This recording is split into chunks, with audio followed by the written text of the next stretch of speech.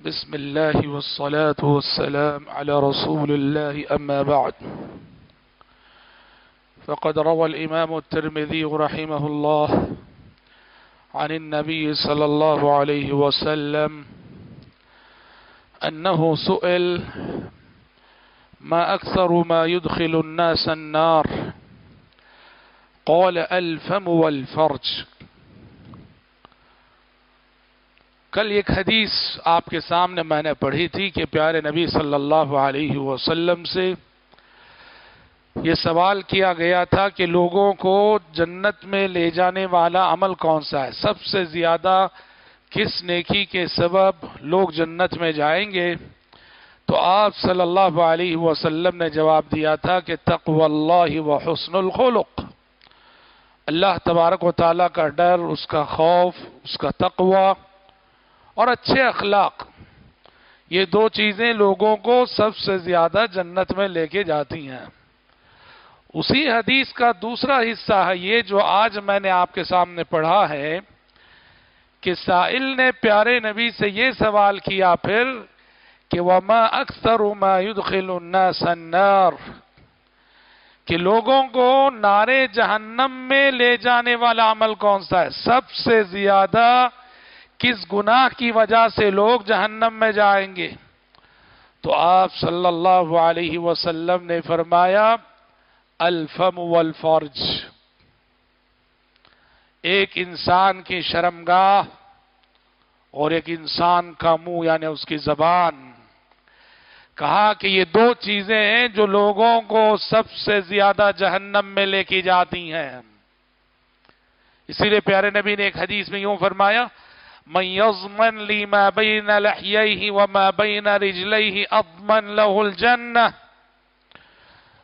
जो शख्स मुझे अपने दो आजा की हिफाजत की गारंटी देगा मैं उसे जन्नत की गारंटी देता हूँ और ये दो आजा क्या है आपने कहा एक इंसान की शर्मगाह और एक इंसान की जबान ये दो चीज़ें लोगों को सबसे ज़्यादा जहन्नम में लेके जाती हैं।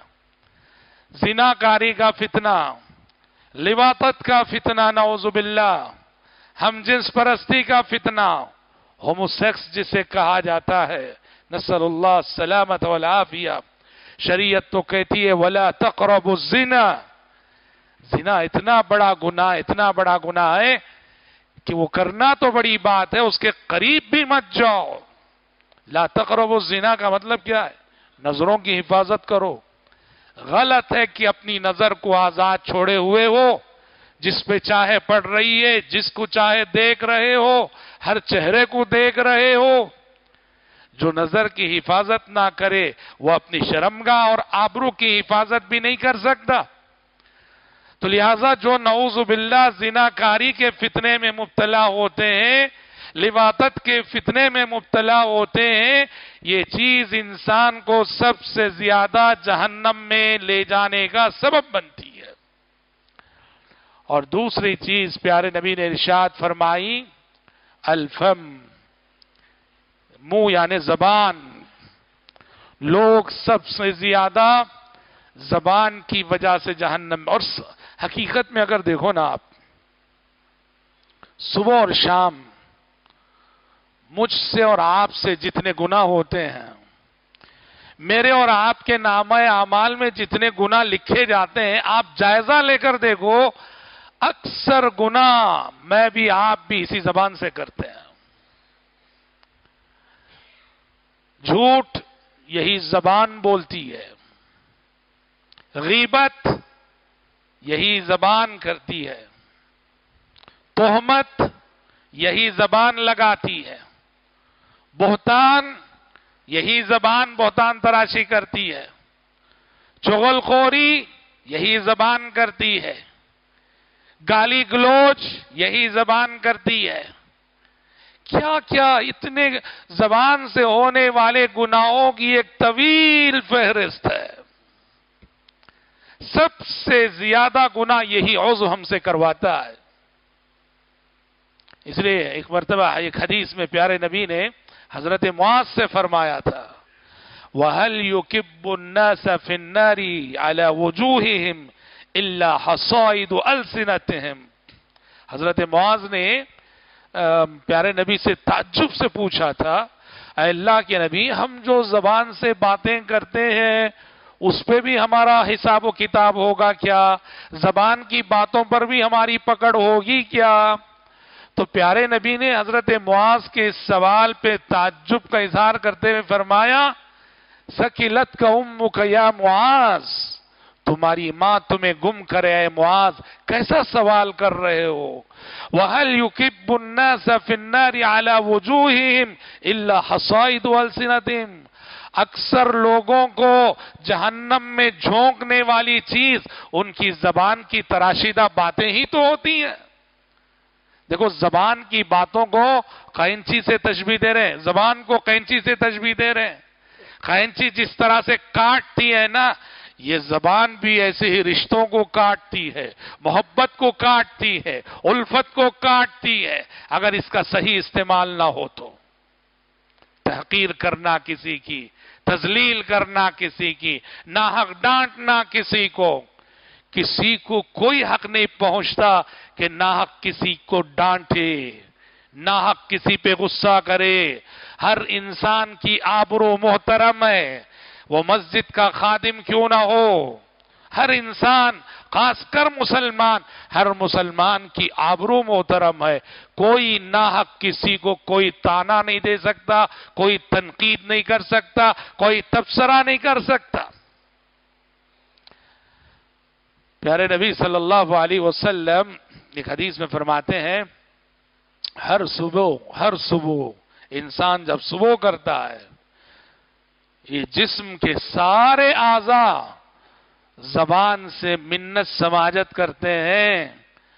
कहते हैं कि इन नहनो बिक, इन इस्तकम इस्तकम न व इन वजज था वजजना आजा कहते हैं जबान से क्या है जबान देख हम सब तेरे ताबे हैं। तू अगर ठीक रहेगी, हम भी ठीक रहेंगे। तू अगर दुरुस्त रहेगी, हम भी दुरुस्त रहेंगे। तू अगर बिगड़ जाएगी तो हमको भी बिगड़ना पड़ेगा। तू अगर टेढ़ी हो जाएगी तो हमको भी टेढ़े होना पड़ेगा। जिस्म के सारे आजा इसी जबान के ताबे हैं। दुनिया में जितने झगड़े हैं, जितने ठंडे हैं, जितनी पंचायतें देख लो, पहले जबान चलती है, बाद में हाथ चलता है। आपको कोई ऐसा झगड़ा नहीं मिलेगा, उधर से जैद आया, इधर से बकर आया, ये भी खामोश, वो भी खामोश डायरेक्ट फाइटिंग शुरू हो गई, ऐसा तो नहीं। पहले तू तू मैं मैं होती है वो कुछ सवाल करता है, वो कुछ जवाब देता है, वो उसको कुछ कहता है, वो उसको कुछ कहता है। जबान पहले चलती है, बाद में हाथ चलते हैं। समझ रहे इसीलिए हमारे अमाल उस वक्त तक दुरुस्त नहीं हो सकते, जब तक कि हमारी जबान दुरुस्त ना हो। इसलाह अमल के लिए कुरान कौल सदीद को शर्त करार देता है कहा अयूहल्लदीन अमनुतकुल्ला वकूल कौलन सदीदा युसलकुम आमालकुम. ईमान वालो, अल्लाह से डरो। वकूल कौलन सदीदा, अच्छी बात और सीधी बात किया करो। यानी जबान का सही इस्तेमाल करो। जबान का सही इस्तेमाल होगा तो क्या होगा? युसलह लकुम अमलकुम अल्लाह तुम्हारे अमाल को दुरुस्त कर देगा। तुम्हारी जबान दुरुस्त हो जाएगी, तुम्हारा अमल दुरुस्त हो जाएगा। मतलब जबान अगर दुरुस्त ना हो तो अमल दुरुस्त नहीं हो सकता। इसलिए मोहतरम भाइयों, ये बहुत खतरनाक चीज़ है, जबान। अल्लाह ने हड्डी नहीं रखी है इसमें।